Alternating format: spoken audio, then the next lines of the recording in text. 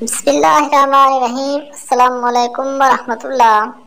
ایک بادشاہ اپنے وزیروں کے ساتھ کشتی میں کسی سفر پر جا رہا تھا۔ راستے میں اثر کی نماز کا وقت ہوا تو کشتی دریا کے کنارے لگا کر وضو کرنے لگا۔ وضو کرتے ہوئے اچانک اس کا پانی والا برتن گر گیا۔ بادشاہ نے وزیروں کو آواز دی اور کہا کہ پانی والا برتن گر گیا ہے۔ ایک وزیر نے پوچھا، بادشاہ سلامت برتن کس جگہ گرا ہے؟ بادشاہ نے اپنی ہیرے کی انگوٹھی اتاری اور پانی میں پھینک کر کہا کہ اس جگہ پر گرا ہے۔ وزیر نے اسی جگہ دریا میں چھلانگ لگا دی اور برتن لے کر باہر آ گیا۔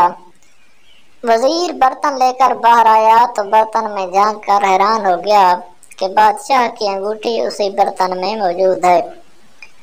وہ حیران و پریشان ہو کر بادشاہ کو دیکھنے لگا اور کچھ دیر سوچنے کے بعد کہا، بادشاہ سلامت، آپ کے اس غلام نے کئی سالوں تک آپ کی خدمت کی ہے۔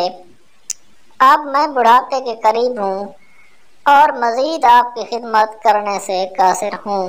چنانچہ میں آپ سے رخصتی چاہتا ہوں۔ بادشاہ نے وزیر کو بہت روکا۔ مگر وزیر کے اصرار پر اسے کہا، ٹھیک ہے، جانا چاہتے ہیں تو جاؤ۔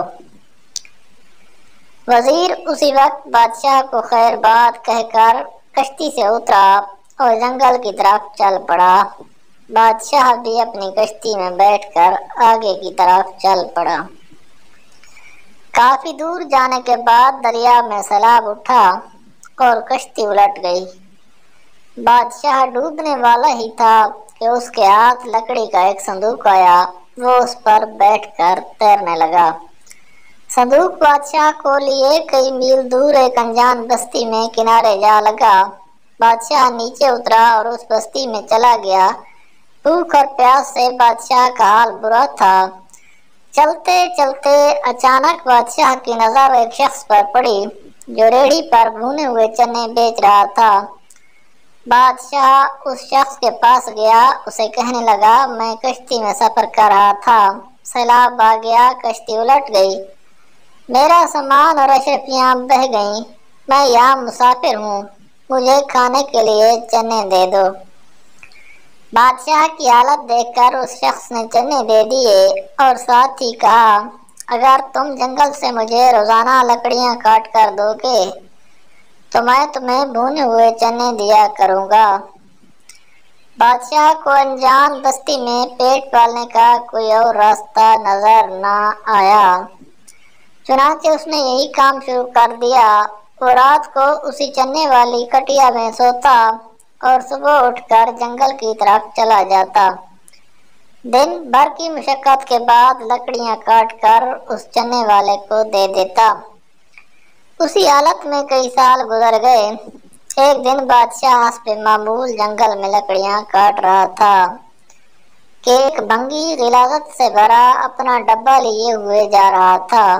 بادشاہ کی لکڑیاں اس بنگی کے ڈبے سے ٹکرائیں، جس سے ڈبہ گر گیا۔ ڈبہ گرنے سے بنگی اور ساتھ سے گزرنے والے شخص نے بادشاہ کی خوب درگت کی۔ اور ڈبے والی غلاظت بھی اس پر پھینک دی۔ بادشاہ مار کھا کر اپنی لکڑیاں اٹھاتے ہوئے وہاں سے چل پڑا۔ چلتے چلتے اسے شاہی لباس میں ملبوس کچھ آدمی اور گھوڑے نظر آئے۔ بادشاہ کو اندازہ ہوا کہ سلطنت کا بادشاہ گزر رہا ہوگا۔ جب وہ شاہی گھوڑے قریب سے گزرے تو وہ مخلوق الحال بادشاہ یہ دیکھ کر حیران ہو گیا کہ جو وزیر اسے چھوڑ کر گیا تھا، شاہی سواری پر سوار تھا۔ وزیر نے ایک نظر اس مخلوق الحال بادشاہ کو دیکھا اور بنا رکے اپنے مال کی طرف چل دیا۔ مال میں پہنچ کر سپاہیوں کو حکم دیا کہ اس شخص کو پکڑ کر دربار میں پیش کیا جائے۔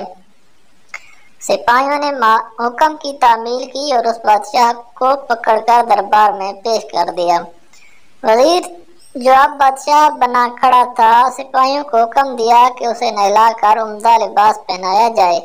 جب اسے نہلا کر عمدہ لباس پہنا کر سپاہیوں نے دربار میں پیش کیا، تو وزیر نے بادشاہ کو دیکھ کر کہا، پس ثابت ہوا کہ ہر عروج کو زوال ہے۔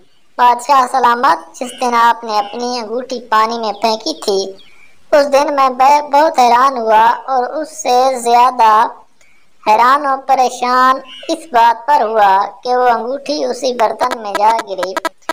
اس دن میں سمجھ گیا کہ بادشاہ اپنے عروج کی انتہا پر ہے۔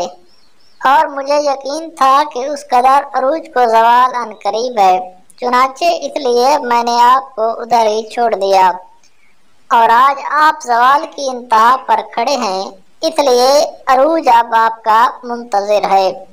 اس کے بعد وزیر نے بادشاہ کو گھوڑے اور تحائف دے کر اپنی سلطنت کی طرف روانہ کر دیا۔ Please subscribe my channel. والسلام۔